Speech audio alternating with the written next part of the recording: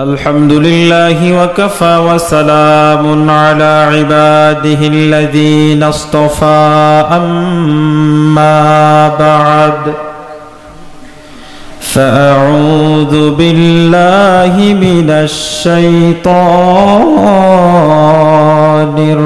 الرجيم. بسم الله الرحمن الرحيم. يا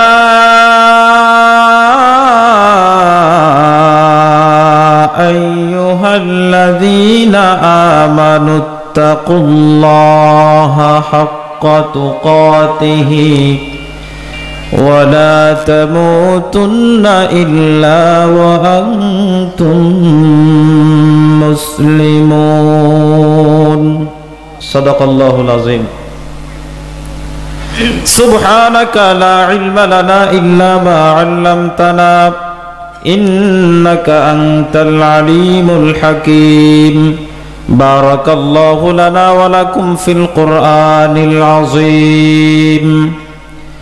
ونفعنا وإياكم بما فيه من الآيات والذكر الحكيم বাংলাদেশের ঐতিহ্যবাহী জেলা জয়পুরহাটের কালাই উপজেলার জামুরা হিলফুল ফজুলের উদ্যোগে চোদ্দতম তফসিরুল কোরআন মাহফিলের জনাব সাহেব সাদার। আলহাজ হজরত মাওলানা মোহাম্মদ তৈমুদ্দিন মন্ডল সাহেব, সমাজসেবক জামুরা। আর উপস্থিত রয়েছেন সহসভাপতি সাহেব জনাব মোহাম্মদ তাজুল ইসলাম ভাই।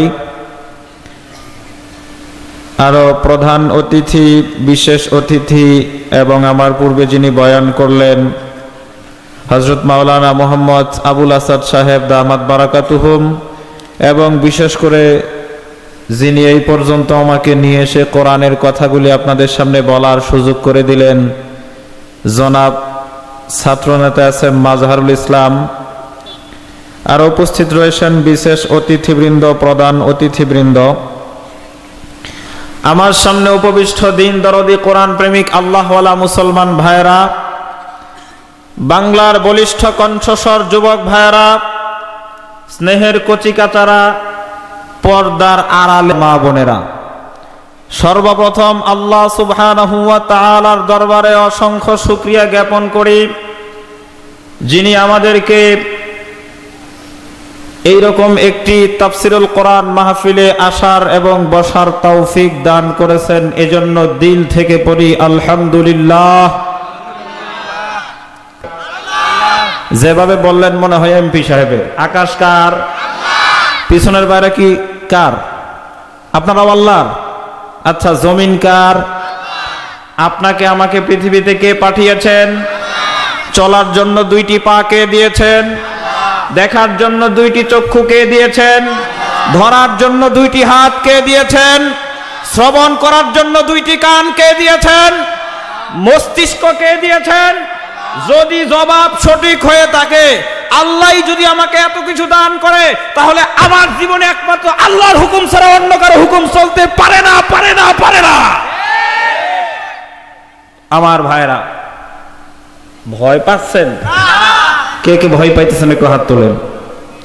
প্রথমে আপনাদেরকে একটা আহ্বান করব, শয়তান আমাদের বন্ধু না শত্রু? জোরে বলেন। শত্রু। আমার মুখের কথা নয় আল্লাহ রাব্বুল আলামিন কোরআনুল কারীমের মধ্যে ঘোষণা করে জানিয়ে দিয়েছেন আলাম আহাদ ইলাইকুম ইয়া বানি আদামা। আল্লাহ তা'বুদুশ শাইতানা ইন্নাহু লাকুম আদুব্বুম মুবিন। আল্লাহু আকবার বলেন আমার ভাইয়ের আল্লাহ রাব্বুল আলামিন বলেন, ওহে বনি আদম, সন্তান, আমি কি তোমাদেরকে জানিয়ে দেই নাই, শয়তান তোমাদের প্রকাশ্য শত্রু? খবরদার, শয়তানকে অনুসরণ, অনুকরণ করবে না। এটা কার কথা? তিন জায়গায় ফাঁকা রাখা যাবে না, এটা আপনারা জানেন। কোন কোন জায়গায়? তার মধ্যে নামাজে এক জায়গায়, কোরআনের মাহফিলে আরেক জায়গায়। কোরআনের মাহফিলে যে জায়গায় ফাঁকা থাকবে, ওই জায়গাটা ফাঁকা থাকবে না। শয়তান পাশে এসে বসে যাবে। শয়তান বন্ধু না শত্রু। কে কে চান আমার শত্রুরে? আমি ডান দিকে বসাই ওয়াজ শুনব। বাম দিকে বসে আমার শত্রুরে ওয়াজ শোনাবো। সামনে আমার শত্রু বসে থাকুক, তাতে আমার কোনো আপত্তি নাই। পেছনে আমার শত্রু বসে থাকুক, তাতে আমার কোনো আপত্তি নাই। তারা বসে থাকেন আর যারা চান আমাদের শত্রু, আমাদের আশেপাশে তো দূরের কথা, আমাদের শত্রুদের বাংলাদেশে কোনো জায়গা নাই। কথা বলেন ঠিক না ঠিক? আপনারা সবাই এক নাম্বার ইট। আমি হলাম ভাই মিস্ত্রি। আমি কি? ভাই, আমাদের এলাকায় যারা ইটের কাজ করে, তাদেরকে বলা হয় রাজমিস্ত্রি। আপনাদের এলাকায় কি কয়? রাজমিস্ত্রি বলে আমি মনে করেন মিস্ত্রি আমাকে খবর দিয়ে নিয়ে এসেছেন ময়মনসিংহ থেকে। এই আল্লাহর কোরআন থেকে একটু সিমেন্ট দিয়া, বিশ্বনবীর হাদিস থেকে কিছু বালি দিয়া, আমার চক্ষু থেকে দুই ফুটা পানি ফেলে মশলা তৈরি করে এমন একটা দেয়াল আজকে নির্মাণ করে যাব। কান্নাহুম বুনিয়ানুম মারসুস। এই দেয়ালটা হবে সীসা ঢালা প্রাচীরের ন্যায়। নাস্তিক, মুরতাদ ইহুদি খ্রিস্টান, নাসারা, কোরআন বিরোধীরা এই দেয়ালে যতই আঘাত করুক না কেন, এই দেয়ালে যারা শরিক থাকবে, মৃত্যু পর্যন্ত দিন কায়েমের চেষ্টা করে দুনিয়া থেকে বিদায় হয়ে যাবে। কথা বলেন ঠিক না বেঠিক একটা দেয়ালের মধ্যে বল নিক্ষেপ করলে যেমনি ভাবে দেয়ালের আঘাত সহ্য না করতে পারে, বল ফিরে আসে, দেয়ালের কিছু হয় না। এই মারসুস নামক যেই দেয়ালটা হবে, এই দেয়ালের মধ্যে নাস্তিক মুরতাদেরা জোরে আঘাত করুক, জেল দেখ, জুলুম দেখ, জরিমানা করুক, ফাঁসি দেখ, নাস্তিক মুরতাদেরা ফিরে যেতে বাধ্য হবে। এই কোরআনের দেয়ালের কিছুই হবে না, কথা বলেন ঠিক না বেটি আমার ভাইরা কোরআনের পক্ষে আমরা থাকতে রাজি আছি? কে কে কোরআনের পক্ষে রাজি থাকতে আছি যদি হাত তুলে আল্লাহকে দেখান? আপনামান আল্লাহ কবুল করুক, জোরে বলেন আমিন। আমার ভাইরা, এই দেয়ালের উপর যদি টিকে থাকতে চান, এই সীসা ঢালা প্রাচীরের দেয়ালের উপর যদি টিকে থাকতে চান, তাহলে তাকওয়া লাগবে। কি লাগবে? দেয়ালের উপর, যেই দেয়ালটা হবে বুনিয়ান মারসুস, এই দেয়ালের উপর টিকে থাকতে হলে কি লাগবে? জোরে বলেন, কি লাগবে? আমার ভাইরা তাকুয়া সম্পর্কে রব্বুল আলামিন বলেন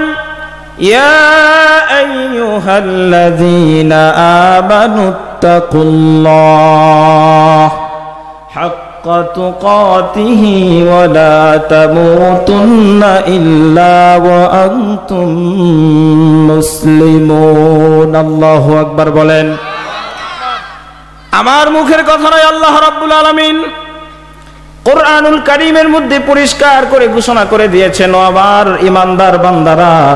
তোমরা আমি আল্লাহ রাব্বুল আলামিনকে ভয় করার মতো ভয় করো যেমনি ভাবে ভয় করা উচিত।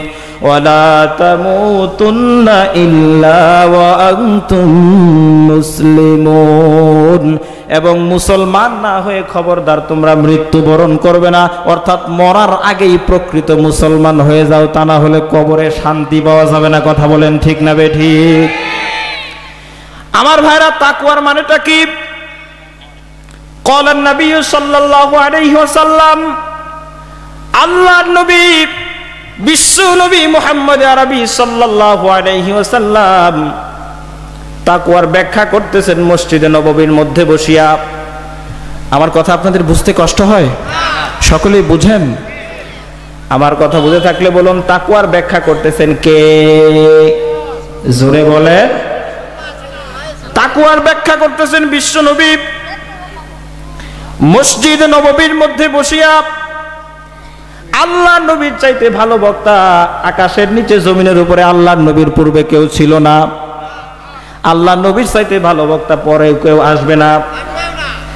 যেই জায়গার মধ্যে বসে বিশ্ব নবী তাকুয়ার আলোচনাটা করতেছেন, আল্লাহ রাব্বুল আলামিনের কাছে পৃথিবীর জমিনের মধ্যে যেই সকল জায়গা পছন্দের, ওই সকল জায়গার একটা হচ্ছে মসজিদে নববী। কথা বলেন ঠিক না বে ঠিক? আর যিনি আলোচনা করতেছেন তার সম্পর্কে আল্লাহ রাব্বুল আলামিন বলেন, কুল ইয়া আইয়ুহান নাসু ইন্নী রাসূলুল্লাহি ইলাইকুম জামিআ। ওগো নবীজি, আপনি বলে দেন, আমার পূর্বে যত নবী আর রাসূল এসেছিল কেউ ছিল নির্দিষ্ট একটা দেশের নবী, কেউ ছিল একটা এলাকার নবী, কেউ ছিল গুত্রের নবী। আমি কোন নির্দিষ্ট দেশের নবী না, এলাকার নবী না, গোত্রের নবী না। ইন্নি রাসূলুল্লাহি ইলাইকুম জামিআ। আমি রব্বুল আলামিনের পক্ষ থেকে তামাম পৃথিবীর জন্য বিশ্ব নবী হিসেবে প্রেরিত হয়েছি কন্যা সুবহানাল্লাহ। তাহলে তাকুয়ার ওয়াজ করে বিশ্ব নবী। তাকুয়ার ওয়াজটা যে সকল সাহাবায়ে কেরামগণ শুনতেছেন, শ্রোতা যারা হয়েছেন, তাদের সম্পর্কে রব্বুল আলামিন বলেন, তাদের বৈশিষ্ট্য ছিল দুইটা, শ্রোতাদের বৈশিষ্ট্য ছিল দুইটা। কলু ওই সকল সাহাবায়ে কেরামদের বৈশিষ্ট্য ছিল দুইটা। তারা যেই কথাটা শুনতো, শোনার সাথে সাথে মানার জন্য প্রস্তুত হয়ে যেত। এই যে তারা কোরআনের আইন মেনে নিত, কোরআনের কথাগুলো মানার জন্য সাথে সাথেই প্রস্তুত হয়ে যেত এই জন্য রব্বুল আলমিন তাদের জন্য ঘোষণা করলেন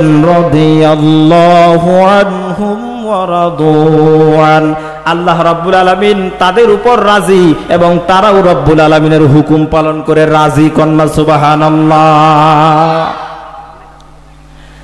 বিশ্বনবী তাকুয়ার ওয়াজ করলেন, দীর্ঘ হাদিসটা আমি বলব না, শুধু একটা পয়েন্ট বলতে চাই। قال النبي صلى الله عليه وسلم ইত্তাকিল মাহারিমা তাকুন আবাদান নাস তাকওয়ার মানে হচ্ছে আল্লাহর নিষিদ্ধ কাজগুলা থেকে বিরত থাকো আল্লাহর মুত্তাকি বান্দায় পরিণত হয়ে যাও তাকওয়ার মানে হচ্ছে আল্লাহ যে সকল কাজ করতে নিষেধ করেছেন কোরআনের মধ্যে নিষিদ্ধ বিধানগুলি যেগুলি এসেছে মা আতাকুমুর রাসূলু ফাখুযুহু ওয়া মা নাহা আনহু ফান্তাহু বিশ্বনবী যেগুলা নিষেধ করেছেন আল্লাহ যেগুলা কাজ করতে নিষেধ করেছেন, ওগুলা বিরত থেকে তারপর নির্দেশগুলা পালন করা লাগবে। আমি নিজেকে মুত্তাকি বলে দাবি করে, নামাজ পড়ে মসজিদ থেকে বের হলাম। ভিতরের নামাজে আমি রব্বুল আলমিনের দরবারে সাক্ষী দিয়ে দিলাম মাইয়াফজুরুকা। তার মানে কি, ওয়ালা নাতরুকু আমার কোনো সম্পর্ক নাই। মাই মাইয়াফজুরুকা যে ব্যক্তি পাপ করে, অর্থাৎ যে ব্যক্তি কোরআনের আইন মানে না, তার সাথে আমার সম্পর্ক নাই। মসজিদে দাঁড়িয়ে সাক্ষী দিলাম। আবার যখন মসজিদ থেকে বের হয়ে নামাজ পর থেকে বের হয়ে আমি মসজিদের বাহিরে বের হয়ে গেলাম, আবার যে ব্যক্তি নামাজ পড়ে না, তার পক্ষে সাবুত দিলাম। কথা বলেন ঠিক না বেঠি মসজিদে সাক্ষী দিলাম যে ব্যক্তি পাপ করে, তার সাথে আমি নাই। আবার যে ব্যক্তি কোরআনের বিরুদ্ধে আন্দোলন করে, আমি না হয় আমার আত্মীয় স্বজন তারে দিয়ে ভোট দিয়া সাপোর্ট দেওয়াইলাম। কথা বলেন? এটার নাম তাকুয়া না। মসজিদে যেই খুদার আইন মানো, মসজিদের যে এরকম ভাবে রব্বুল আলমিনের কাছে স্বীকৃতি দিল রব্বুল আলমিন, ওয়ালা নাত্রুকু মাইয়াফ জুরুকা যে ব্যক্তি পাপ করে তার সাথে আমার আমার কোনো সম্পর্ক নাই, মসজিদের বাইরেও তেমন মানা লাগবে, কথা বলেন ঠিক না বেঠি আমার ভাইরা তাকুয়ার মানেটাকে একটু খেয়াল করেন? আল্লামা জালাল উদ্দিন সুইদ রহমতুল্লাহ আলাই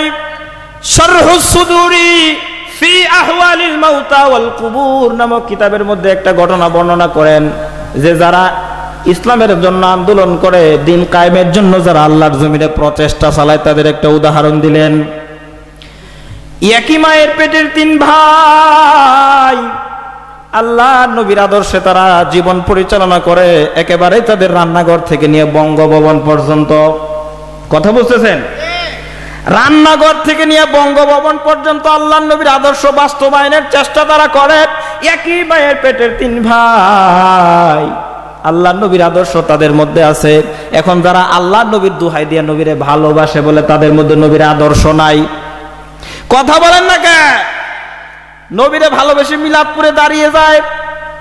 আবার নবীরে ভালোবেসে একবারে মিলাদ পড়তে পড়তে দাঁড়িয়ে যায়, আবার মিষ্টি খায়, আবার হুজুর বয়ান করতেছে, ভাই গো, আল্লাহ নবীর হুদের ময়দানে দাঁত ভেঙেছে, আল্লাহ নবীর তাইফের ময়দানে কষ্ট লেগেছে, নিজের বিবি পর্দায় থাকে না।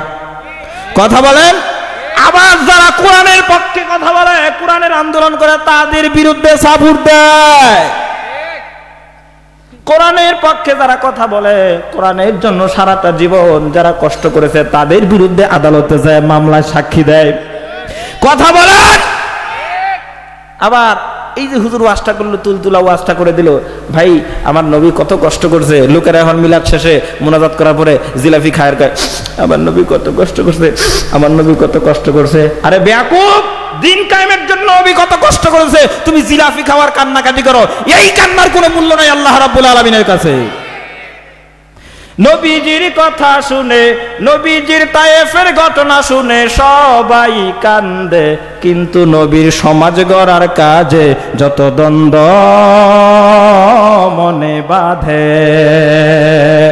নবীজির তায়েফের ঘটনা শুনে, নবীজির দাঁত ভাঙার ঘটনা শুনে সবাই কান্দে।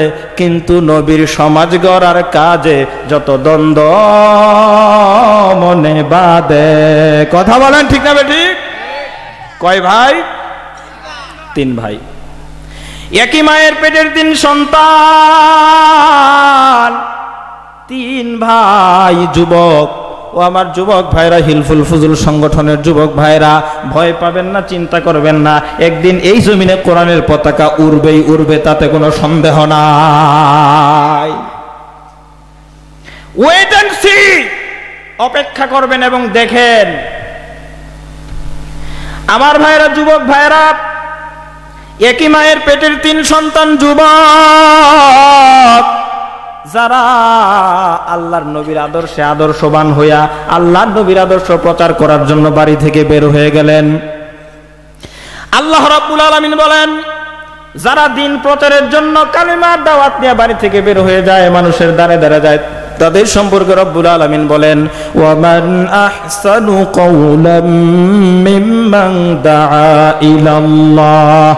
وعمل صالحا وقال إنني من المسلمين ওই ব্যক্তির কথার চাইতে আর কার কথা উত্তম হতে পারে যে মানুষকে ডাকে আল্লাহর কোরআনের দিকে যে মানুষকে ডাকে এক আল্লাহর দিকে যে মানুষকে ডাকে ওই ব্যক্তির কথার চাইতে আর কার কথা উত্তম হতে পারে না ওই ব্যক্তির কথাই সব চাইতে ভালো আহসানুর শব্দ ব্যবহার করেছেন আল্লাহ। আরবি গ্রামার যারা বুঝেন আহসানুর মানে হচ্ছে ইসমে তফদিলের সিগা সব চাইতে উত্তম। আর এটা ইংরেজিতে হচ্ছে সুপারলেটিভ ডিগ্রি অর্থাৎ বেস্ট এর চাইতে ভালো কাজ আর হতে আল্লাহর জমিনে আল্লাহর দিন কায়েমের দাওয়াত দেওয়ার জন্য একই মায়ের পেটের তিন ভাই বাড়ি থেকে বের হয়ে গেল। দেখেন যুবকদের কি পরিণতি হয় আমার যুবক ভাইরা। আস্তে আস্তে যখন হাঁটি হাঁটি পা পা করে তারা নিজেদের রাজ্যের সীমানা ছেড়ে খ্রিস্টান রাজার সীমানার মধ্যে প্রবেশ করল। খ্রিস্টানরা মুসলমানদের বন্ধু না শত্রু? আর একটু জোরে বলেন, বন্ধু না শত্রু? বিশ্ব নবীর জামানায় ইহুদি খ্রিস্টানরা ইসলামের শত্রু ছিল। বর্তমান সময়ে ইহুদি খ্রিস্টানরা ইসলামের শত্রু। এজন্য আল্লাহ রাব্বুল আলামিন বলেন, ইয়া আইয়ুহাল্লাযীনা আমানু লা তাত্তাখিযুল ইয়াহুদা ওয়ান নাসারা আউলিয়া বা'দুহুম আউলিয়া বা'দ আল্লাহ রাব্বুল আলামিন বলেন, ওহে ইমানদার আল্লাহ, তাত্তাখিযুল ইয়াহুদা ওয়ান নাসারা আউলিয়া। ওহি ইমানদারেরা খবরদার। ইহুদি খ্রিস্টানদেরকে তোমাদের বন্ধু বানায় না। ইহুদি খ্রিস্টানদেরকে বন্ধু বানায় না, কারণ তারা নিজেরাই নিজেদের বন্ধু, নিজেরাই নিজেরা বন্ধু হয়ে একজোট গঠন করে ইসলামের ক্ষতি করার জন্য সব সময় তারা চেষ্টা করবে, কথা বলেন ঠিক না বেঠি একই মায়ের পেটের তিন ভাই। ইয়াহুদি রাজার রাজ্যের মধ্যে প্রবেশ করেছে। প্রবেশ করার পরে নামাজের সময় হয়ে গেছে। তিনজন মানুষ নামাজ পড়বে, জামাতে আজানের দরকার আছে না নাই? মুসলমান যেই জায়গায় থাকুক না কেন, কাউকে ভয় করে না আল্লাহর নাম জুড়ে জুড়ে উচ্চারণ করে কথা বলেন, ঠিক না বে ঠিক? ভয় বাধাহীন মুক্ত স্বাধীন আমরা মুসলমান, যেখানে থাকবে একটি মুমিন সেখানেই হবে আজান। যেখানে একটি মুমিন থাকবে। সেখানেই আল্লাহর বরত্ব, কোরআনের বরত্ব বিশ্বনবীর আদর্শের বরত্ব প্রচার করা হবে। কথা বলেন ঠিক না বেঠি? যখন তিনজনের একজন আল্লাহ আকবার বলে আল্লাহ রাজানের ধ্বনি দিয়া দিল, আল্লাহর বরত্বের কথা শুনে ইহুদি রাজার সৈন্যদের মনে এটা খুব দাগ কাটলো। বলল যে, এইটা আবার কোন কথা? এখানে তো আমাদের রাজাই বড়, এটা আবার কোন রাজার কথা বলে? কালেমার দাওয়াত নিয়ে যারা গেল, দিন কায়েমের জন্য যারা ইহুদিদের রাজার দরবারে প্রবেশ করল, খ্রিস্টানের রাজ্যে প্রবেশ করল, ওই বাদশার শূন্য খবর পৌঁছে দিল রাজ দরবারে। এবার রাজ দরবার থেকে কয়েকজন সৈন্য পাঠিয়ে তিনজনকে গ্রেফতার করা হলো। ও আমার ভাইরা, গভীর মনোযোগ দিয়ে কান লাগায় শোনেন, একটা ঘটনা আপনাদের সামনে বলে দিয়ে যাই। দিন কায়েমের পণ করে যারা বাড়ি থেকে বের হইয়া গেল। ওই তিন যুবককে আল্লাহ আকবরের ধ্বনি উচ্চারণ করার কারণে ইহুদি রাজার দরবারে, খ্রিস্টান রাজার দরবারে তাদেরকে গ্রেপ্তার করে নিয়ে হলো। রাজার কাছে বলা হলো, এই তিনজন মুসলমান আমাদের খ্রিস্টান এলাকায় প্রবেশ করেছে। এই তিনজনকে যদি কালিমার দাওয়াত দেওয়ার স্বাধীনতা দেওয়া হয়, এই তিনজনকে যদি ইসলামের কথা বলার পারমিশন দেওয়া হয়, ইসলামী রাজনীতি করার পারমিশন দেওয়া হয়, তাহলে একদিন তো আমাদের তক্ততাউত মসনদ সব উড়ে যাবে। এখানে কোরআনের রাজ প্রতিষ্ঠিত হয়ে যাবে, আমাদের বেদাগিরি আর চলবে না। এই কথাটা বাদশাহ খুব ভালো করে বুঝলেন। নিজে ক্ষমতাকে টিকিয়ে রাখার জন্য এবার বাদশাহ যখন তাদের সঙ্গে বৈঠক করলেন, দেখা যাক তাদের সাথে কোনো সন্ধি করা যায় নাকি। কিন্তু ইমানদার কখনোই ইহুদি খ্রিস্টানদের সাথে ইসলাম নিয়ে কখনোই আপোষ করতে পারে না। ওই তিনজন ভাইকে যখন গভীর রাত্রে বাসটা ডেকে বলল, ও তিন ভাই তোমরা কালিমার দাওয়াত দেওয়া ছেড়ে দাও। তোমাদেরকে দেশে পৌঁছে দেওয়া হবে সসম্মানে। অনেক টাকা পয়সা দেওয়া হবে। সুন্দরী নারীদের দিয়ে বিবাহ দেওয়া হবে। ওই তিন ভাই স্পষ্ট করে জবাব দিয়ে দিল, আমরা প্রয়োজনে জীবন দিতে পারি, কিন্তু ইমান ছাড়তে পারি না। আমার ভাইরা, বাদশাহ বুঝতে পারল, এদেরকে দিয়া অতি সহজে কাজ হবে না জেলখানা রিমান্ডে নাও। ও আমার ভাইরা, জেলখানার মধ্যে তিন ভাইকে গভীর রাত্রে যখন নেওয়া হলো, ওই তিন ভাইয়ের জন্য তিনজন জল্লাদ নিয়োগ করা হলো, যারা অনবরত সারা রাত তাদের পিঠের উপর চাবুক দিয়ে আঘাত করতে থাকল। ওই তিন ভাইয়ের পিঠ বেয়ে বেয়ে রক্ত পড়তেছে। রক্তগুলা বালুর মধ্যে পড়তেছে। জেলখানার অন্যান্য কয়েদিরা বলে, ভাই, এত শাস্তি তোমাদেরকে দিচ্ছে, তোমরা ইমান ছেড়ে দাও, তাও তো হয়ে যায় ইমানের দাম আর কত? কয় যে, তোমরা বুঝো না, কালিমার দাম কত? তোমরা বুঝো না, কোরআনের দাম কত? আমরা এখানে চাবুকের আঘাত সহ্য করতে করতে প্রয়োজনে জীবন দিয়ে দিব। আমাদের জীবনটা শেষ হয়ে যাবে, তবু আমরা ইমান ছাড়া থাকতে পারব না। তবু মুসলমান ইমান ছাড়া কবরে যেতে পারে না। রাত শেষের দিকে দুইজন কয়েদি জেলখানা থেকে যখন দুইজন জল্লাদ বিদায় হয়ে গেল, চাবুক নিয়ে নিজেরাও ক্লান্ত হয়ে গেছে, চাবুক মারতে মারতে। এবার যখন তৃতীয় নাম্বার জল্লাদ চাবুক নিয়ে তৃতীয় ভাইকে আঘাত করতে লাগল। আঘাত করতে করতে এক পর্যায়ে দুর্বল হয়ে ওইখানে ঘুমিয়ে পড়ল। ঘুমের ঘরে ওই জল্লাদ স্বপ্নে দেখে কে যেন এসে বলতেছে, ও জল্লাদ, কাকে তোমরা আঘাত করতেছে জানো? ওই লোকগুলো খবরদার আর আঘাত করো না। ওই লোকগুলা হচ্ছে আমি নবীর উম্মত। এরা দিন কায়েমের জন্য কালিমার দাওয়াত দেওয়ার জন্য বাড়ি থেকে বের হয়ে গেছে। এদের গায়ে যদি আর একটা চাবুকের আঘাত তুমি দাও খোদার কসম করে বলি, এই রাজ্যের মধ্যে আল্লাহর গজব পরে সব শেষ হয়ে যাবে। জল্লাদ জেলখানা থেকে পালিয়ে গেল। এদেরকে সাবুকের আঘাত করা যাবে না। পরের দিন যখন বাচ্চা জেলখানার দায়িত্বশীলের কাছ থেকে জেলখানার যিনি প্রধান, তার কাছে রিপোর্ট চাইল কি অবস্থা? রিপোর্ট দেওয়া হলো, সারা রাত তাদেরকে চাবুকের আঘাত দিয়ে নির্যাতন করে করে রক্ত বের করা হয়েছে পিঠ থেকে। রক্ত ফুটাই ফুটাই জমিনের মধ্যে পড়েছে, এরপরেও তারা কালিমা ছাড়ে না। এবার বাদশাহ বললেন, ঠিক আছে মন্ত্রী সভার বৈঠক আহ্বান কর। মন্ত্রিসভার বৈঠক আহ্বান করা হলো। মন্ত্রিসভার বৈঠকের মধ্যে সিদ্ধান্ত গ্রহণ করা হলো। বিশাল বড় বড় তিনটা কড়াইয়ের মধ্যে তেল গরম করা হবে। তেলগুলা যখন টকবক করে টকবক করে ফুটতে থাকবে, ওই মুহূর্তে এক একটা ভাইকে তেলের সামনে দাঁড় করায়া করায়া তারপরে ইমান ছাড়ার জন্য বলা হবে। এরপরেও যদি ইমান না ছাড়ে গরম তেলের মধ্যে তিনটা ভাইকে একে একে ফেলে মারা হবে। ও আমার ভাইরা ইমানের জন্য কালিমার দাওয়াতের জন্য সামনে কঠিন পরীক্ষা।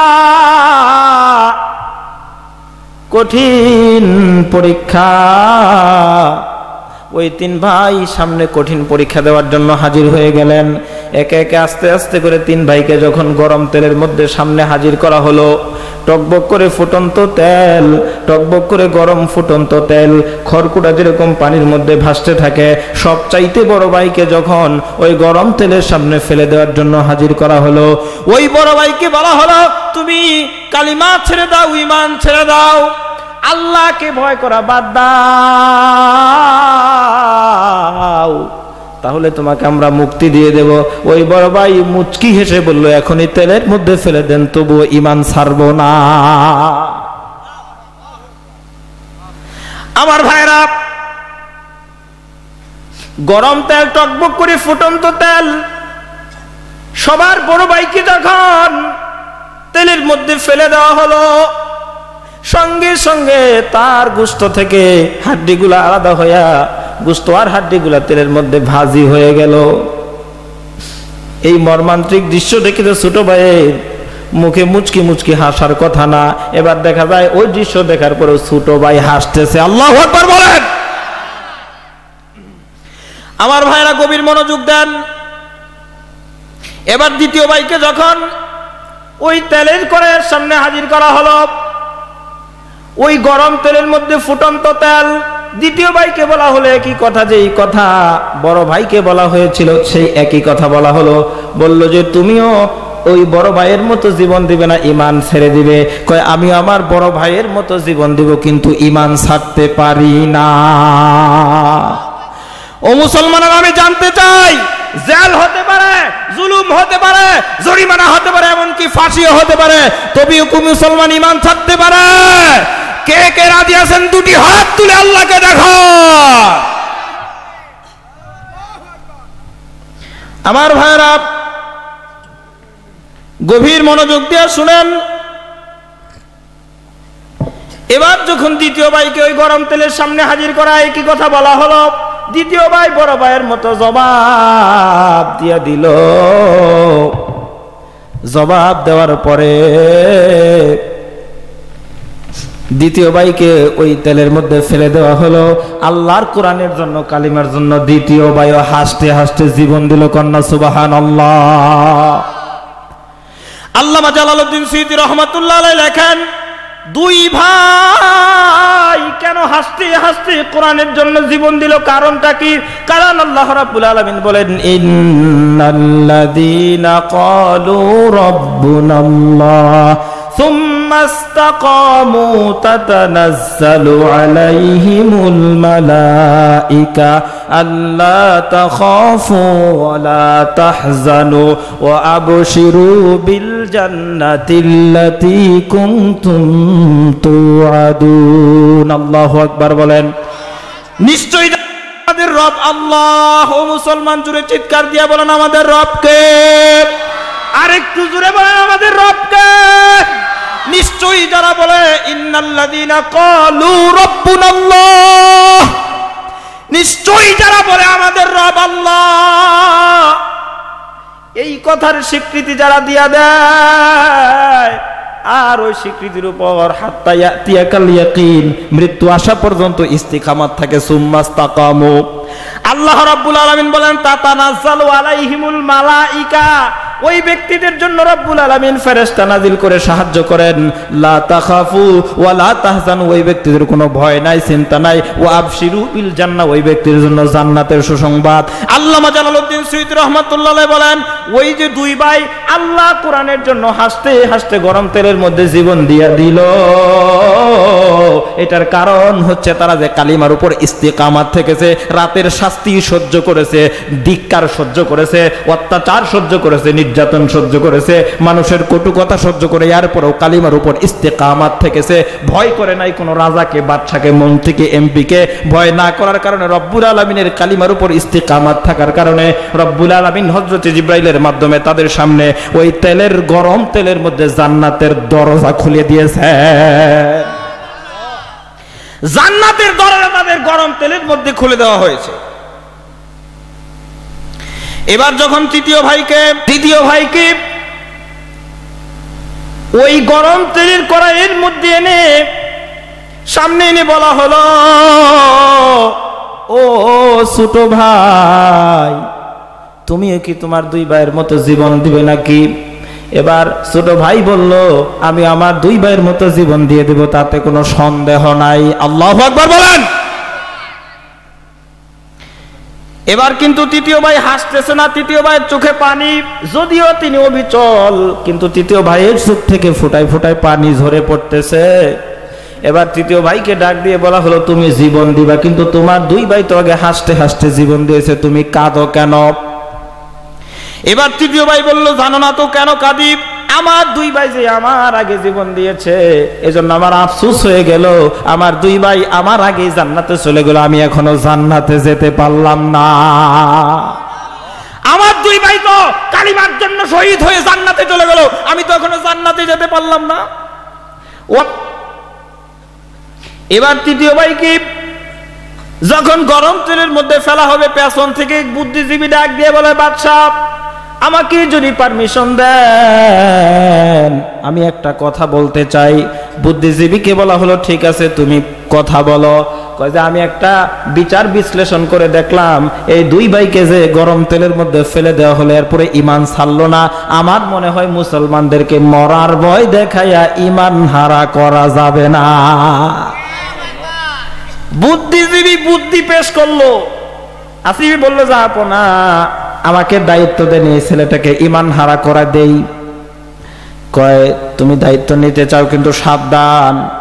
কয়, হুজুর, আপনি কোনো চিন্তা করবেন না বাদশাহ কোনো চিন্তা করবেন না। এই ছেলেটাকে ইমান হারা করার দায়িত্ব আমি নিয়ে নিলাম। কয়, ঠিক আছে ইমান হারা করার দায়িত্ব কয়দিন সময় লাগবে? কয়, প্রায় তিরিশ চল্লিশ দিনের মতো লাগবে। কয়, ঠিক আছে, তোমাকে চল্লিশ দিন সময় দেওয়া হলো। চল্লিশ দিনের সময় নিয়ে আল্লাহর এক বান্দাকে ইমান হারা করার দায়িত্ব নেয়। ও মুসলমানেরা, একটু গভীর মনোযোগ দিয়ে শোনেন। ওই বুদ্ধিজীবী যখন ইমান হারা করার দায়িত্ব নিল, বুদ্ধিটা কি করল একটু দেখেন। এবার বাচ্চাকে বলল বাচ্চা আমি তো ইমান হারা করার দায়িত্ব নেবে, কিন্তু বেনিফিট পাবো কি? আমার ভাইরা, এবার ওই খ্রিস্টান বাচ্চার কাছ থেকে বুদ্ধিজীবী চল্লিশ দিন সময় নিয়া আল্লাহর বান্দা যুবককে তিন নাম্বার ভাইকে ইমান হারা করার দায়িত্ব নিল। কীভাবে দায়িত্বটা নিল দেখেন, বলা হলো তোমাকে একটা প্রাসাদ দেওয়া হবে। প্রাসাদের ভিতরে সব সরঞ্জাম থাকবে। মানুষের যতগুলা সরঞ্জাম লাগে জীবনে বেঁচে থাকতে হলে সকল সরঞ্জাম সেখানে আছে। অ্যাটাচ বাথরুম, রান্না করার ব্যবস্থা আছে, গ্যাসের ব্যবস্থা আছে, বিদ্যুতের ব্যবস্থা আছে। অর্থাৎ দুনিয়ার যাবতীয় সুযোগ সুবিধা তুমি সেখানে পাবা চল্লিশ দিন সময়, কয় দিন? এবার যখন ওই মেয়েটাকে ওই বুদ্ধিজীবীর একটা সুন্দরী মেয়ে ছিল, ওই বুদ্ধিজীবীর সুন্দরী মেয়েটাকে সমস্ত রাজ্যের যুবক ছেলেরা বিবাহ করার জন্য পাগল হয়ে গেছে এরকম সুন্দরী মেয়ে। কিন্তু যখন দেখেন বাপ হইয়া মেয়েকে ওই জিনা করার জন্য লেলিয়ে দেয়, এর চাইতো নিকৃষ্ট বাপ আকাশের নিচে জমিনের উপরে আর কেউ হতে পারে না। কার আদর্শ মানে? ওই ছেলেটা আল্লাহকে ভয় করে বিশ্ব নবীর আদর্শ মানে।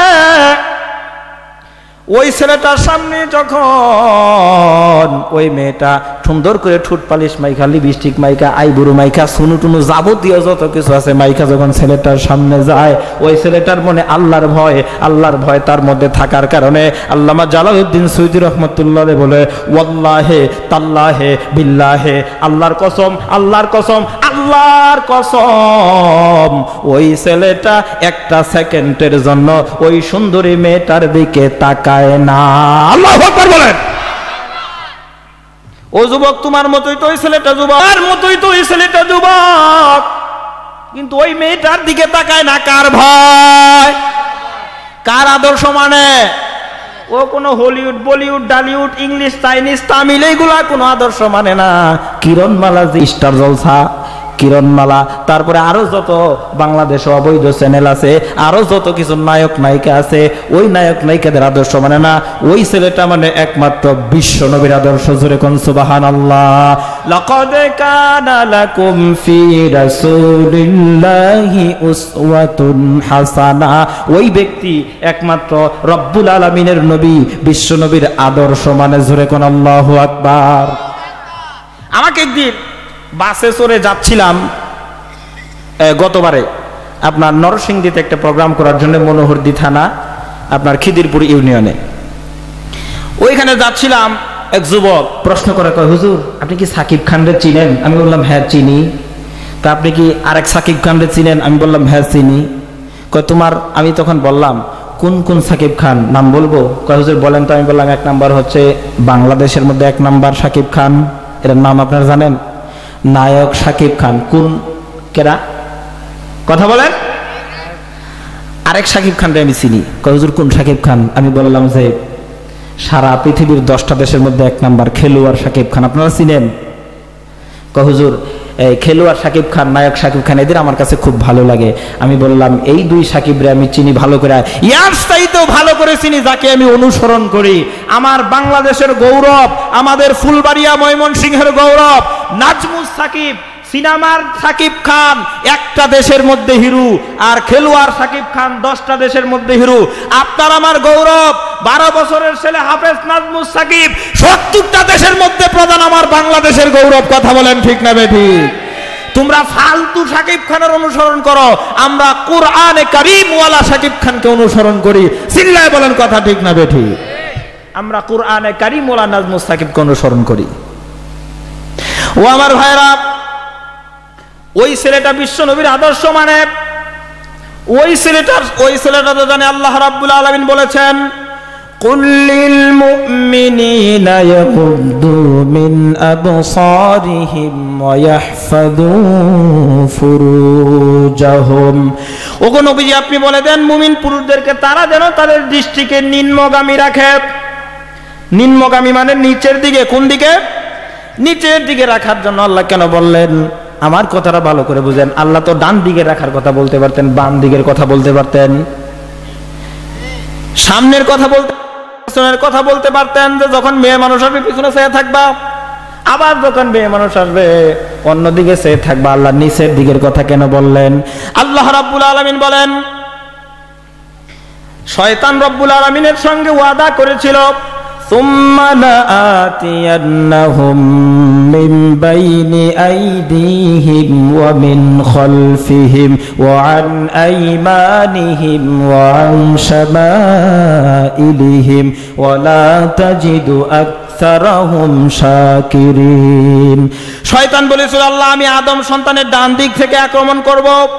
বাম দিক থেকে আক্রমণ করব, সামনে থেকে আক্রমণ করব, পিছন দিক থেকে আক্রমণ করব। আপনারা বুঝে থাকলে বলেন, দিক কয়টা? দিক কয়টা? দিক কিন্তু মূলত ছয়টা। কয়টা? ডান দিক, বাম দিক, সামনের দিক, পেছনের দিক, উপর দিক উপর দিক, নিচের দিক আল্লাহ রাব্বুল আলামিন এই জন্য নিচের দিকের কথা বললেন দৃষ্টি নিচে রাখার জন্য বললেন যে শয়তান নিচের দিক থেকে আক্রমণ করতে পারে না। এজন্য যে ব্যক্তি অশ্লীল কিছু দেখার পরে নিচের দিকে তাকিয়ে থাকবে, ওই ব্যক্তিকে গুনাহ থেকে আল্লাহ রাব্বুল আলামিন বাঁচিয়ে দিবেন কন্যা, সুবহানাল্লাহ। ওই মেয়েটা যখন সুন্দর করে সেজে গুজে ব্যাপারটা অবস্থায় ওই যুবকের কাছে আসে। ওই যুবক আল্লাহর কসম করে বলি, এক সেকেন্ডের জন্য ওই ব্যাপারটা মেয়ের দিকে তাকায় না, কার দিলের মধ্যে কার ভয় আল্লাহর ভয়। এমনি এমনি করে করে চল্লিশ দিন যখন পার হয়ে গেল, চল্লিশ দিনের আরও কয়েকদিন পরে তার বাবার রিপোর্ট নেওয়ার জন্য আসলো মেয়ের কাছে। রিপোর্ট নেওয়ার জন্য যখন মেয়ের কাছে আসলো, এবার মেয়েটা ডাক দিয়ে বলতেছে, আব্বা আপনি তো এসেছেন রিপোর্ট গ্রহণ করার জন্য। রিপোর্ট অত্যন্ত ভালো। বাবা বুঝতে পারল, মনে হয় পাপ করে ফেলেছে। আসলে কি পাপ করছে? এবার মেয়েটা বলতেছে, আব্বা, চল্লিশ দিনের মধ্যে অনেক চেষ্টা করেছি, কিন্তু এই লোককে জিনা করানো যায়নি। কয়, কেন? কয় লোকটা মুত্তাকি। কারণ বিশ্ব নবী বলেছেন ইত্তাকিল মাহারিমা তাকুন আবাদান যে ব্যক্তি আল্লাহকে ভয় করে, ওই ব্যক্তি আল্লাহর নিষিদ্ধ কাজ করতে পারে না। আর যারা বাংলার জমিনে জিনা বেবিসার যাত্রা, জুয়া অশ্লীল ভাবে প্রচার করার জন্য সহযোগিতা করে রব্বুল আলামিন বলেন, ইন্নাল্লাযীনা ইউহিব্বুনা আন তাশিআল ফাহিশাতু ফিল্লাযীনা আমানু, লাহুম আযাবুন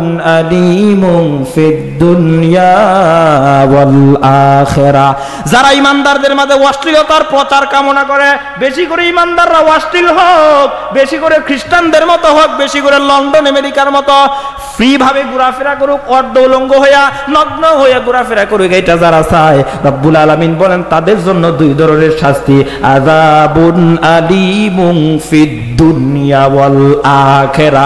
ওই সকল লোকের জন্য দুনিয়া এবং আখেরাতে রয়েছে প্রচণ্ড যন্ত্রণাদায়ক শাস্তি। চিৎকার দিয়া বলেন, না, নাউজুবিল্লাহ।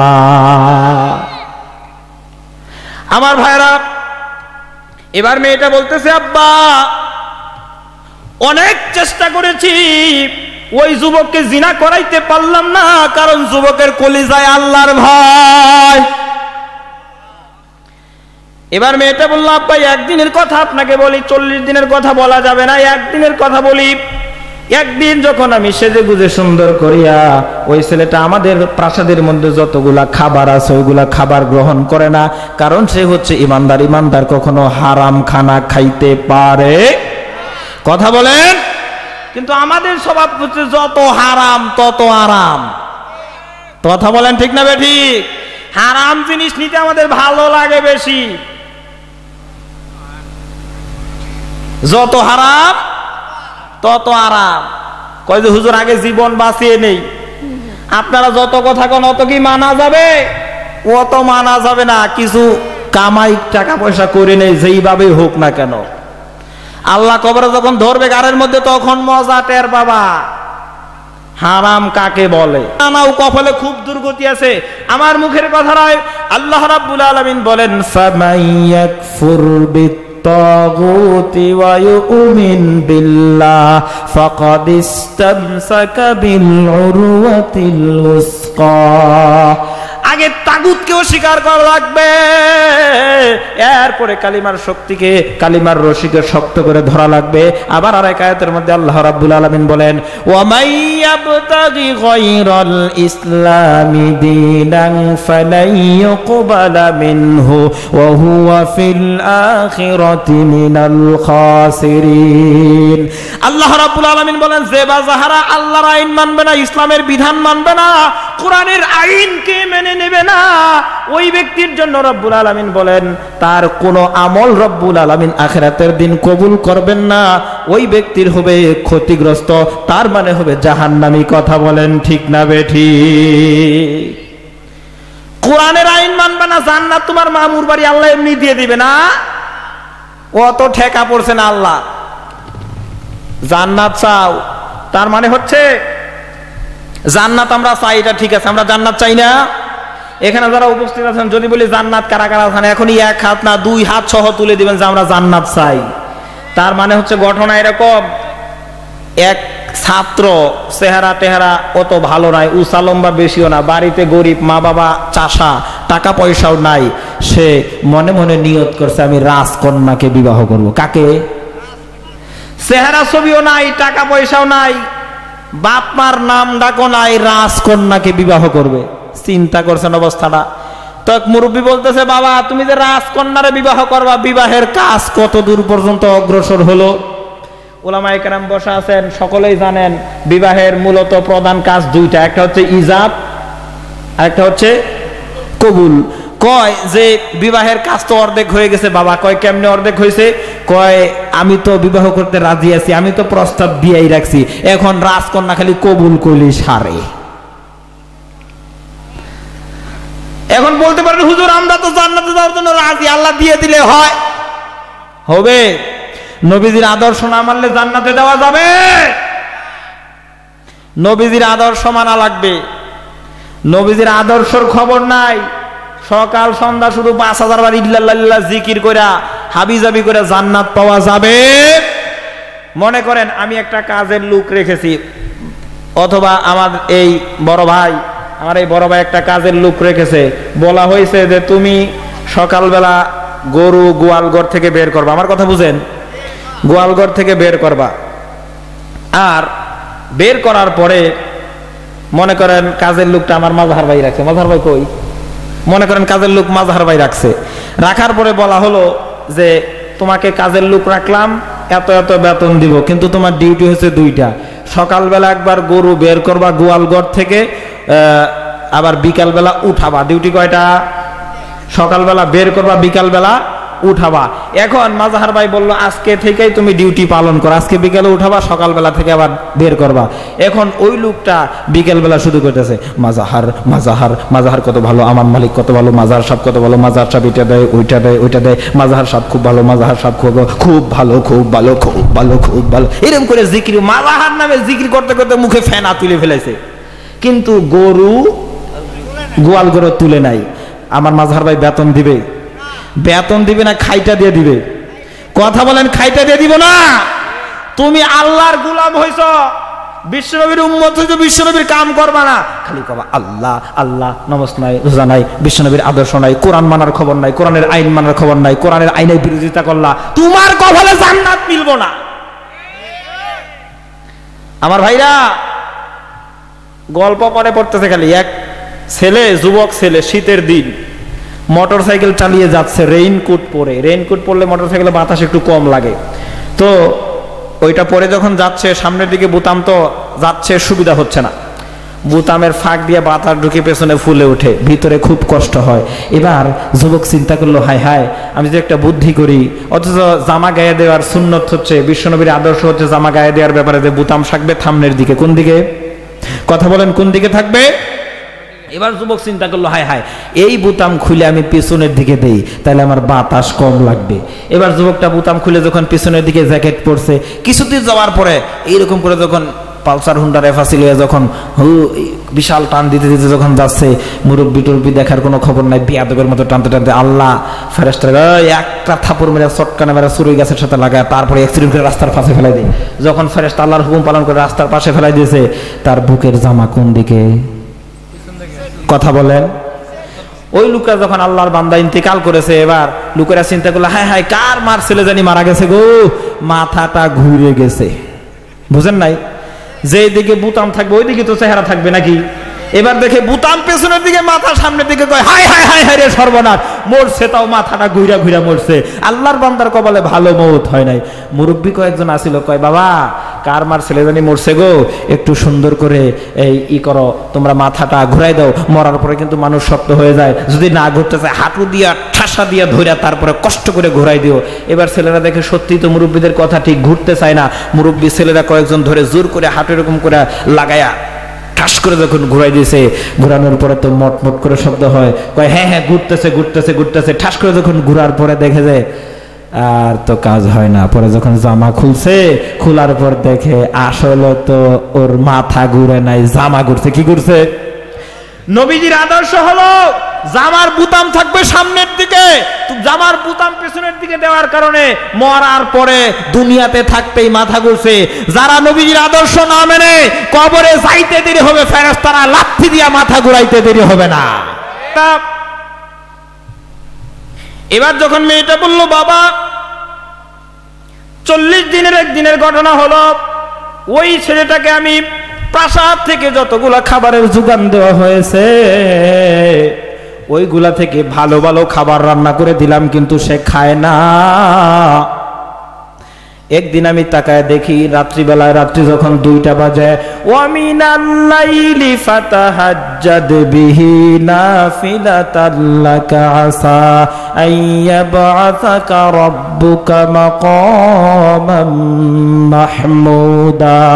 আল্লাহু আকবার বলেন, ওই আল্লাহর বান্দা মুত্তাকি গভীর রজনীতে তাহাজ্জুদের নামাজ পড়ার জন্য দাঁড়ায় গেছে। তাহাজ্জুদের নামাজে সিজদা দিয়ে কান্দে কয়, আল্লাহ, ও আল্লাহ, আমাকে কি আপনি গুনাহের প্রাসাদ থেকে উদ্ধার করবেন না? আল্লাহ রাব্বুল আলামিন মুনাজাত কবুল করে নিয়েছেন। আর ছেলেটা দোয়া করে, আল্লাহ, আপনি আমাকে হারাম খানা খাওয়াইয়েন না। এবার যখন ছেলেটা দোয়া করতেছে, ওই মেয়েটা তার বাবার কাছে বলে, কয়, আব্বা গো, ওই ছেলেটা দোয়া করার সঙ্গে সঙ্গে আমি দেখলাম কোত্থেকে জানো তার জায়নামাজের চতুর্দিকে খানা হাজির হয়ে গেছে। আমি তখন ছেলেটাকে বললাম, ও ছেলে ও ভাই, এই যে তোমার জায়নামাজের চতুর্দিকে খাবার হাজির হইয়া গেছে এই খানা থেকে আসলো? ওই ছেলেটা ডাক দিয়ে বলল বনুরে এই খানা থেকে আসলো তুমি জিজ্ঞেস করতেছ? এই সুগ্রাণযুক্ত খানা দুনিয়ার কোনো খানা না। এই খানা স্বয়ং আল্লাহ রাব্বুল আলমিনের পক্ষ থেকে জান্নাত থেকে দেওয়া হয়েছে। আল্লাহ রাব্বুল আলমিন বলেন ওয়ামাইয়াত يتق الله يجعل له مخرجا ويرزقه من حيث لا يحتسب মুত্তাকিদের কোনো ভয় নাই কোনো টেনশন নাই মুত্তাকিদের কাছে যদি মুত্তাকি ব্যক্তি অনাহারে থাকে তার কাছে রিজিক পৌঁছায় দেওয়ার মালিক আল্লাহ যেমনি ভাবে হজরতে মারিয়াম আলাইহিস সালাম হুজরাখানে আল্লাহ জান্নাতি ফল দিছে না দেয় নাই কথা বলে এবার যখন ওই বুদ্ধিজীবীর ব্রেনটাও খুলিয়া গেল। আল্লাহ আকবর বলেন। বুদ্ধিজীবী চিন্তা করল এত সুন্দরী মেয়ে যারা সমস্ত রাজ্যের বিবাহ যুবকরা বিবাহ করতে চায় আমার মেয়েকে এই ছেলেটা ফিরেও তাকায় না। নিশ্চিত মনে হয় এই ছেলের ধর্ম সুবহান আল্লাহ বলেন। বুঝে আসতেছে। এবার যখন ওই মেয়েটা বলল, আব্বা, আপনি তো একবার বুদ্ধি করিয়া বাচ্চার কাছ থেকে পারমিশন নিয়ে আমাদেরকে গুনাহে আস্তানার মধ্যে ঢুকাইছেন। আমার মনে হয় ওই ছেলেটার ধর্ম ভালো। এখন আপনি আবার আর একটা বুদ্ধি করিয়া আমাকে আর ওই ছেলেকে গুনাহের আস্তানা থেকে বের করেন। ওই বুদ্ধিজীবী গেল বাদশার দরবারে। গিয়া বলতেছে, জাহাপনা। গিয়া বলতেছে, জাহাপনা এই যে ছেলেকে আমার সুন্দরী মেয়ের সঙ্গে জিনা করার জন্য পাঠিয়েছিলাম, আমার মনে হয় এই ছেলেটা পাগল হয়ে গেছে। যদি পাগল নাই হবে, তাহলে আমার মেয়ের সঙ্গে জিনা করল না কেন? কারণ আমার মেয়ের সঙ্গে জিনা করার জন্য রাজ্যের সমস্ত যুবকরা তৈয়ার। ওই বুদ্ধিজীবী বলল, বাদশাহ, আরেকটা পরামর্শ আপনারা দেয় আমার মনে হয় এই ছেলেটা পাগল হয়ে গেছে। এই ছেলেটা মানুষ তো দূরের কথা, নারী, পুরুষ, চিনে না, চিনলে জিনা করতো না, এটা কথা হইল। কয়, তাহলে কি করা দরকার? আমার মনে হয় এই ছেলেটার জায়গা চেঞ্জ করা দরকার। জায়গা চেঞ্জ করলে পরে মানুষের মন পরিবর্তন হয়। কয়, তাহলে কি করবা? কয়, বদ্ধ করে থাকতে থাকতে এই ছেলেটার মাথা নষ্ট হতে চলেছে। এই ছেলেটাকে খোলা মাঠে ছেড়ে দেওয়া দরকার। আল্লাহ আকবর বলেন। আল্লাহ রাব্বুল আলামিন বলেন, আল্লাহু ওয়ালিয়ুল্লাযীনা আমানু ইখরিজুহুম মিনাল যুলুমাতি ইলান নূর। আল্লাহ রাব্বুল আলামিন হচ্ছে ঈমানদারদের বন্ধু।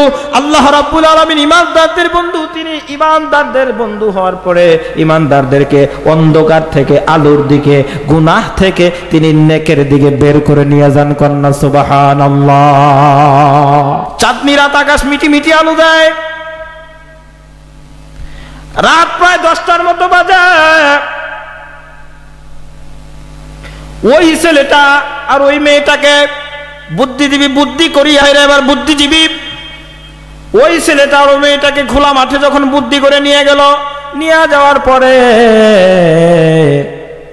ওই ছেলেটা আল্লাহ রাব্বুল আলমিনের জমিনে পড়ে সিজদা দিয়া কয়, আল্লাহ, সব প্রশংসা তোমার যে তুমি আমাকে গুনাহের আস্তানা থেকে বের করেছ কন্যা সুবাহান আল্লাহ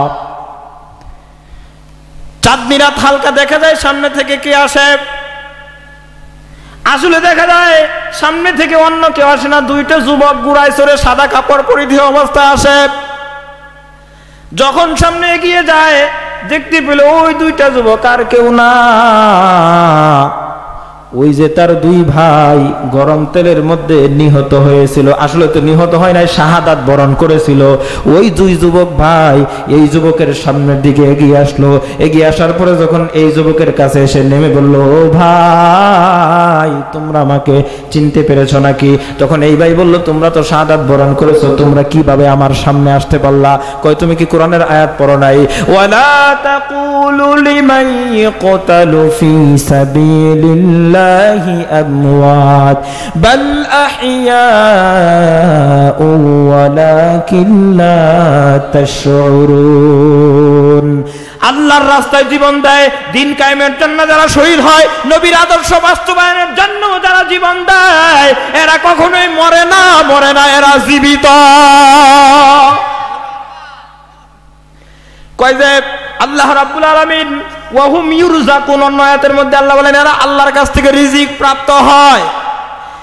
আল্লাহ রাব্বুল আলামিন আমাকে, আমাদেরকে এই কথা তোমাকে সুসংবাদ দেওয়ার জন্য পাঠাইছে যে, আমরা শহীদ হওয়ার পরে যে জান্নাত পেয়েছি, এইরকম একটা জান্নাত শহীদ না হলেও আল্লাহ রাব্বুল আলামিন তোমার জন্য বরাদ্দ করে রেখে দিয়েছেন, কন্যা সুবহানাল্লাহ। কয় ভাই, কেন কেন আল্লাহ বরাদ্দ করছে? কয়, কেন শুনবা? এই যে আমরা শহীদ হয়ে গেছি, বেঁচে থাকলে গুনাহের সম্ভাবনা ছিল। কিন্তু তুমি যে শহীদ হও নাই, কিন্তু গুনাহের প্রাসাদের মধ্যে থেকেও গুনাহ করো নাই। এইটা আল্লাহর কাছে পছন্দনীয় হয়ে গেছে। তোমার দিলের মধ্যে তাকুয়া আছে। তাকুয়া থাকার কারণে আল্লাহ তাআলা আমাদের সমান মর্যাদার জান্নাত তোমাদের ব্যাপারে ওয়াদা করেছেন, কন্যা সুবহানাল্লাহ। এই কথা বলে যখন দুইটা ছেলে বিদায় হয়ে গেল যুবক বিদায় হয়ে যাওয়ার পরে ওই তৃতীয় নাম্বার ভাই আস্তে আস্তে ওদের পিছনে হাঁটতে লাগল। এবার পেছন থেকে মেয়েটা ডাক দিয়ে বলল, যুবক, কোথায় যাও? আমি যাইতেছি আল্লাহ জান্নাতের দিকে। এবার মেয়েটা ডাক দিয়ে বলল, তুমি কি একাই আল্লাহ জান্নাতের দিকে যাইবা? আমার আর আমার আব্বারে কি নিয়ে যাইবা না? কয় যে তোমরাও যদি জান্নাতে যেতে চাও, আর ওই খ্রিস্টান রাজার অনুগত্য করা যাবে না। খ্রিস্টান রাজার আইন মানা যাবে না। কথা বলেন, জুড়ে বলেন, ঠিক না বেঠি। আল্লাহ আইনার খিলাফতের শাসন ছাড়া এ বিশ্ব জগতে শান্তি হবে না হবে না। আল্লাহ রাইনার খিলাফতের শাসন ছাড়া। শান্তি শান্তি করে মজুলুম জনতা চীনের প্রাচীর ভেঙে তুলেছে আওয়াজ। চীনের প্রাচীর ভেঙে তুলেছে আওয়াজ। কোরআনের নীতি ছাড়া, নবীজির আদর্শ ছাড়া, কোরআনের নীতি ছাড়া, নবীজির আদর্শ ছাড়া শান্তি পাওয়া যাবে না যাবে না। আল্লাহ রাইনার খিলাফতের শাসন সারা আমার দয়ার আল্লাহ রে তুমি দয়া কর রে, আমার দয়ার আল্লাহ রে, তুমি দয়া কর রে। মিয়ানমারের মুসলমানদের কি যে দুর্গতি গো রহিম রহমান কর, মুশকিলে আসান। জোরে বলেন আমিন। আমার মিয়ানমারের মুসলমান ভাইরা কত কষ্ট করে দিন কাটাচ্ছে। কথা বলেন ঠিক না বেঠি? বাংলা সকল মুসলমান দেশেরা ধিক্কার জানিয়েছে। আমাদের মিয়ানমারের মুসলমান ভাইরা কত কষ্ট করতেছে, আমরা তাদের জন্য কিছুই করতে পারলাম না, অন্তত দোয়া করা দরকার আছে না নাই? আমরা দোয়া করি আল্লাহ তালা তাদেরকে যেন এই মুসিবত থেকে উদ্ধার করে। সকলেই বলেন আমিন। আমার দয়ার আল্লাহ রে, তুমি দয়া কর রে। আমার দয়ার আল্লাহ রে, তুমি দয়া কর রে। মিয়ানমারের মুসলমানদের কি যে দুর্গতি ও গো জালিল জব্বার কর, বিপদে উদ্ধার গো জালিল জব্বার কর। বিপদে উদ্ধার। আমার ভাইরা এবার ওই মেয়েটা বলল, তুমি একাই কি জান্নাতে যাইবা? আমার আর আমার আব্বারে নিয়ে যাবা না। এবার ওই যুবক বলল, তুমি আর তোমার আব্বা যদি জান্নাতে যেতে চাও, তাহলে ইসলাম ধর্ম গ্রহণ করা লাগবে। কয়, কীভাবে ইসলাম ধর্ম গ্রহণ করা লাগবে? গ্রহণ করাইয়া দাও। কয়, তাহলে তোমরা পড়লা ইলাহা ইল্লাল্লাহ মুহাম্মাদুর রাসূলুল্লাহ। জুড়ে পড়ুন সবাই, লা ইলাহা ইল্লাল্লাহ মুহাম্মাদুর রাসূলুল্লাহ। সাল্লাল্লাহু আলাইহি সাল্লাম। বাংলাদেশে নারী পুরুষ একসাথে জিকির করে। আল্লাহর নবী, বিশ্বনবী, সাহাবায়ে কেরামদের মধ্যে উলামায়ে কেরামরা অর্থাৎ কোরআন এবং হাদিসে কোন জায়গায় জিকিরের কথা আছে? যেটা কোরআন হাদিসে নিজে বানিয়ে নিছে ওটা হচ্ছে শয়তানের জিকির। কথা বলেন? হাই রে হাই কি উপায় বলতে মুর প্রাণ ফেটে যায়? ভণ্ড পীরে কুরাল মারল ইসলামেরই গায়। হাই রে হাই কি উপায় বলতে মুর প্রাণ ফেটে যায়? ভণ্ড পীরে কুরাল মারল ইসলামেরই গায়। ফকির নাম ধারণ করিয়া জাগায় জাগায় উরুস করিয়া, ফকির নাম ধারণ করিয়া জাগায় জাগায় উরুস করিয়া, নামাজ রোজা বাদ দিয়া ফকির নাম ফলায় রে, নামাজ রোজা বাদ দিয়া ফকির নাম ফলায়। হাই রে হাই কি উপায় বলতে মুর প্রাণ ফেটে যায়। ভণ্ড পীরে কুরাল মারল ইসলামেরই গায়। কথা বলেন ঠিক না ঠিক? ফকির নাম ধারণ করিয়া জাগায় জাগায় উরুস করিয়া, ফকির নাম ধারণ করিয়া জাগায় জাগায় উরুস করিয়া, বেটা বেটি না চাইয়া ফকির নাম ফলায় রে, ছেলে মেয়ে না চাইয়া ফকির নাম ফলায়। হাই রে হাই কি উপায় বলতে মোর প্রাণ ফেটে যায়, ভণ্ড পীরে কুরাল মারল ইসলামেরই গায়। কথা বলেন? এইভাবে ইসলামটাকে ধ্বংস করে দিচ্ছে। ওইখানে যারা টাকা দিয়া, পয়সা দিয়া সহযোগিতা করে। ওই টাকা, পয়সা দিয়া সহযোগিতার এক সাইরানার কাজে লাগবে, পাঁচ পয়সার কোনো কাজে লাগবে না। আল্লাহ রাব্বুল আলমিন বলেন, যখন মানুষের মৃত্যুর সময় হয়ে যাবে হজরত আজাইলে এসে পড়বে পড়বে। তখন ওই লোকটা বলবে, লাউলা আখার তানি ইলা আজালিন কারিব, আমাকে কি একটু সময়ের জন্য অবকাশ দিবে? তখন বলা হবে, কিসের জন্য তুমি অবকাশ চাও? কয়